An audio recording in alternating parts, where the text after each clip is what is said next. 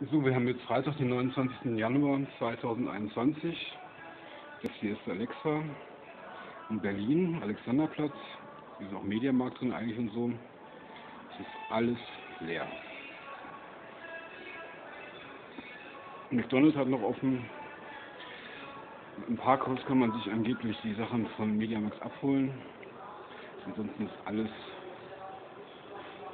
verschlossen und fast menschenleer.